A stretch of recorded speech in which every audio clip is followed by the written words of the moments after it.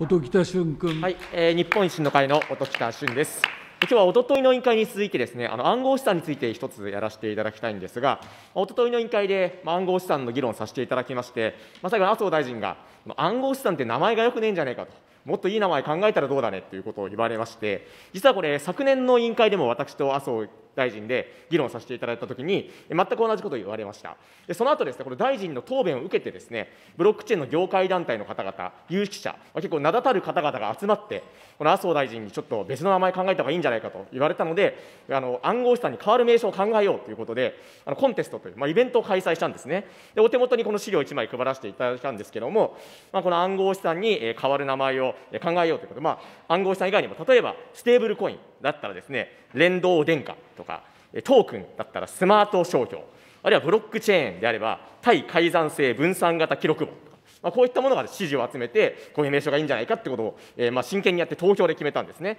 で、暗号資産は何が一番良いということになったかというと、まあ、デジタルコイン、デジタルコインという名前が良いんじゃないかと、まあ、いうことが、まあ、投票で選ばれました。これ、あの誇張でもなんでもなくですね、まあ、大臣の昨年の答弁を受けて、まあ、民間団体の方々、ちょあのそうしたブロックチェーン関与の方々が集まってですね、あの考案してくれた名前ですので、ぜひ麻生大臣から一言、公表や感想をいただきたいんですが、いかがでしょうか？麻生大臣もともとクリプトアセッツっていう言葉の前は確かバーチャルカレンシーだったわけねなんかそんな話になってたんでそれが世界中のこの種の話の会合でいわゆるクリプトアセットという名前に変わるべきだというあれはイギリスでしたかね。イギリスそれから、えー、ドイツ等々いろんなドイツやフランスなんか言い始めてこの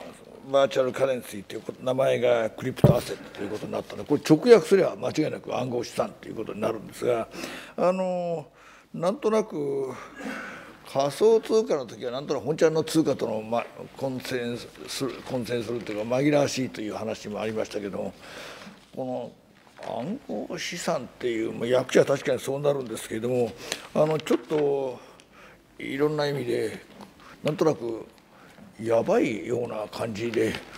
もともとやばそうなものがさらにやばく感じさせるような話はちょっといかがなものかねと前にそんな話をしたんだと思いますけれどもあのビットコインっていうのをいう話等々いろいろ今コンテストされてあのいわれこういった案はどうだという案が出たというお話ですけれどもあの今もう一個この通貨の時にやっぱ CBDC あるセントラルバンクのデジタルカレンシーっていうものとのあれが重なりますんであの誤解されないかいろいろな問題を考えないかんのだと思ってますんで本当になんとなくデジタルアセットかなと思わないでもなかったんですけれどもあのいずれにしてもあの法令で定める故障ということになりますんでちょっとコンテストで決めるような話はありませんのであのそこの点はちょっと検討の余地があろうと方を存じますがなんとなくクリプトアセットよりはあの暗号資産よりはいいという感じがしますね。音喜多俊君ありがとうございます。あの暗号資産よりはいいんじゃないかというのは、非常にあのこのコンテストを買った方々も非常に嬉しいんじゃないかなと思います。もちろんあのこの民間の団体のコンテストで決まるものではありませんけども、まあ、こうしたものがしっかり普及していくためにはですね、まあ、国民にとって、利用者にとって馴染みやすいこの名称にするということも大事だと思いますので、ぜひ金融庁の方は、こちらまた暗号資産というこの名称でいいのかどうか、この大臣の答弁も受けて検討していただきたいと思います。またこの暗号資産については繰り返しになりますが、やはりこの高い税率、あるいは強すぎる、厳しすぎる規制、まこうしたものがやはり市場の成熟を阻む原因になっていると思いますので、税制の見直し、規制の見直し、こうしたものはですね、普段の検討をしていただいて、ま早急に見直していただきたいということを要望させていただきたいと思います。それでは次にですね、報道でもありました、無料通信アプリ LINE の個人情報が中国の現地法人からアクセスできる状態になっていた問題について、金融庁関連いくつか質問させていただきます。ま前提としてこれは報道でも拝見しておりますが、金融庁は今週、LINE 側に対して法律に基づく報告徴求命令、まこちら出したということでございます。その目,、え目的と経緯について簡単にご答弁いただければと思います。金融庁中島総合政策局長。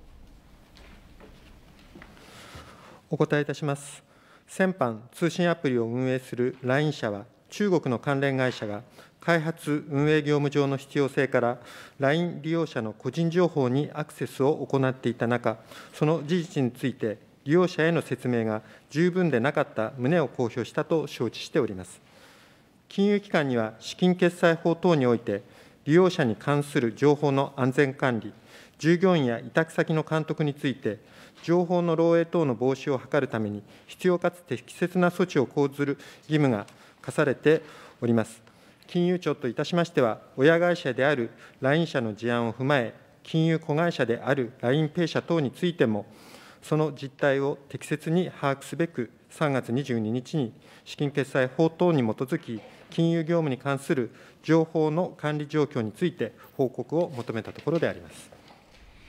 音喜多修君、はい。まあ、それが、まあ、命令出してです、ね、あのこれから調査中、調査するということなんだと思い出す思いますが、かなり報道等が過熱している状況です。まあ、こう噂されている、まあ、一部ではやっぱりこの報道、過熱を受けて、まあ、自分が預金しているお金が減っていっちゃうんじゃないかとかですね、全く関係ない人に振り込まれちゃうんじゃないかとか、まあ、そういうですね、まあ、ことまで心配されてまして、まあ、あの実態とまたそれが乖離していると誤解も招きますし、まあ、非常に有識自体にあることは間違いないんですが、まあ、誤解を招く情報や解説もレプしているということもですね、ちょっと深刻に捉えなければいけないなというふうに思います。でこれ当事者である LINE 社だけではなく、LINEPay 社だけでなく、まあ、金融庁もこれ正確な情報提供を行った上で、まあ、国民の不安解消に努める必要があると思います。そこでですね、まあ、あえてあえてこういう聞き方をするんですが、まあ、今回この問題において最悪の事態、まあ、最悪の事態というのはどういうことが想定されるのか、まあ、これを現時点の金融庁の見解をお伺いいたします。中島局長。お答えいたします。本件に関して予断を持ってお答えすることは差し控えたいと思いますけれども、一般論として申し上げれば、例えば金融機関の国内利用者に関する情報が、日本と同水準の個人情報保護制度が整備されていない外国の第三者によって、利用者や金融機関の認識に反する形で閲覧利用されるといった事態は、個人情報の保護や金融機関の信頼確保の観点から懸念があると考えております。音喜多駿君、まあ、個人情報のまあ利用については、まあ、そういう恐れがあるということで、まあ、預金の引き出しとかお金関係のそこまでは、まあ、いかないんじゃないかと、まあ、あくまで一般論ということですが、まあ、そういったご見解なんだろうなというふうに思います。でこれ、今後ともですね、やっぱ逐一正確な情報というのは、金融庁からも発信していただきますようお願いをしたいと思います。で今回の問題発覚を契機に、この甘いとされてきた日本企業の情報セキュリティについて、これ、社会全体で取り組む必要があると考えます。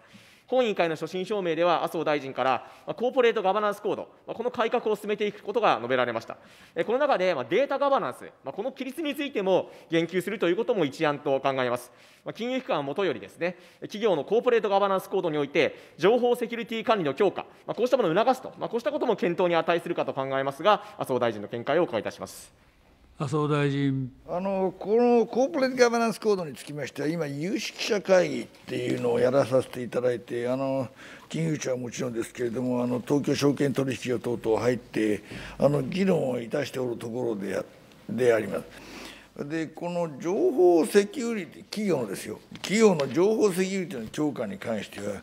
企業が持っています個人情報の管理状況等々が問題となる中で、昨今その重要性っていうものが高まっていると指摘があることは私ども承知をいたしております。他方この情報セキュリティの強化というのがコーポレートガバナンスに馴染むか等についてはこれはさまざまな意見がありますんで経営の在り方を示すもんじゃないじゃないかいろんなご意見があるんですけれどもいずれにしてもあの我々としてはいろんなご意見を踏まえた上で企業に適切なガバナンスそうですねガバナンスの構築を促らせていけるようなコーポレートガバナンスコードの改定に向けたあの検討を進めてまいりたいと思っておりますがいずれにしてもあのこういったようなことは盗まれるはずがないとなんとなく勝手に思っておられますけど今コンピューターの発達したおかげで逆にこういうのは逆にあのスティールあスティールって盗み出すことが結構可能になってきてるということも事実ですからそういった意味ではどの程度どこまでやるかそしてそれに対してどれくらいのファイアウォーあの壁を作るかそういったようなことはちょっとこれからいろいろ検討しないかん大事なところだと思っております。音喜多俊君。はい、ありがとうございます。まあ、ななかなか難しい要素が絡む問題であるということは私も理解をしております。で、まあ、このこの個人情報の漏洩事件というのは、やっぱり2000年代入ってから、まあ、我が国でも後を絶たない状態であります。今回の LINE の件もですね、まあ、今、LINE 社のことが大きく報じられておりますが、まあ、これはもちろん調査を待たなければならないということでありますけれども、果たして LINE 社だけの問題なのかと、やっぱり日本にある、まあ、企業とあそのまあ、政府としても、まあ、全体としてこの情報セキュリティ考えていかなければいけない、まあ、こうしたことを示唆するものだと思いますので、まあ、コーポレトガバナンスコード改定も含めてですね、しっかりと政府にも対応、注視をお願いしたいということを申し上げたいと思います。次に残された時間で国際金融センターについてもう少し細かく質問させていただきたいと思います。やはりですね、今の政府の方針で国際金融センター構想が前に進むとは、私はですね、どうしても考えづらいと。やっぱ法人税というのも高すぎる、所得税も高すぎる、まあ、こうした声がね、あの絶えないわけでありますけれども、まあ、一部の有識者や、まあ、自治体などからも、そうした要望や提言、出されていると、私は認識しているんですが、こうした提言に対して、金融庁はどのように受け止めているのか、この現状についてお伺いいたします。麻生大臣。金融センターというのの、まあ、確立とか設立に向けまして、これは金融庁としては、私ども、あの国全体の施策として、税制とか、その他いろいろ諸課題がありますんで、これを省庁横断で取り組んでいるところであります。まず国が国内の特定の地域というものを国際金融センターとして定め、そしてその地域に限定した金融の規制やるとか、減税処置というようなことは、そういうことを現在考えてるわけではありません。またあの特区制度ってみんなよく言われてますけどあの特区っていうものはあの規制などの特別措置に関する提案を地方自治体から挙げてきたものに対して行うものでありまして国が特定地域を定めるものではない。これは大前提であります。一方で私どもとしては海外の情勢等々見ましても海外の企業とか人材を受け入れるにあたって地方自治体の取り組みというものをこれは不可欠なんだと思っておりますので今音喜多先生言われるように今いろいろ言われてるところあまあ大阪とか東京とか福岡とかに出てますけれどもあの取り組みされている地域とは国としても積極的に連携をしてまいりたいとは思っておりますけれどもいろいろなこれ問題がありますのはご存知のと通りでありましてそういったような問題を引き続きやっていくためには私どもとしては今あります規制税制等々いろいろ金融庁に限った話ではありませんのでそういった点を含めましてあの兼業等々いろんなものがありますのでそういったものを含めまして私どもとしては今検討をいろいろさせていただいているところであります。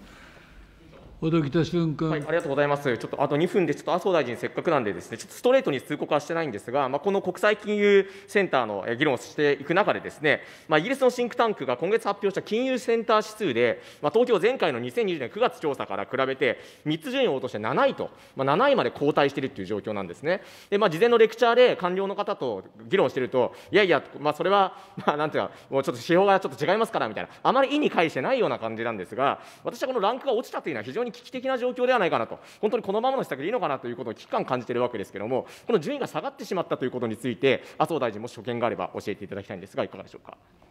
麻生大臣。今下がったっていう感じを私どもは持っておりませんけれども少なくともこの種の話をやるにあたってはあのあの人たちだけ特殊なでうまいことやってんじゃないかっていうやっかみひがみが面倒くさいんですよ。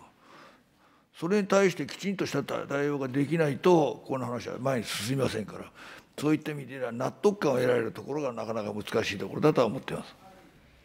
音喜多俊君。はいまあ、あのこのです、ね、指標についてはです、ね、金融庁の行政レビューシートでも指標として設定されているものですので、まあ、下がってないような感じがするというのは、まあ、主観としてはあるのかもしれないですけれども、まあ、こういう順位というのは、行政というのは、上がったときは非常に喜ぶということはあっても、まあ、下がったときは、なんかこう、いろいろ理由をつけて、まあ、大した問題じゃないかのように言うときもあるんですけれども、やはりこれ、深刻に受け止めていただいて、果たして、まあ、麻生大臣もずっと議論してますが、まあ、特区、まあ、ピンポイント絞ったことは考えていないと、いうことなんですけれども、やはりですね、まあ、大阪も要望してます。他の地域からも出てくると思います。税制を見直す。そして、あの、総量規制、施設取引所の規制緩和を見直す。まあ、こちら打てる手はすべて打ってですね、国際金融センター構想を前に進めていただきたいということを改めて申し上げまして、質問を終わります。ありがとうございました。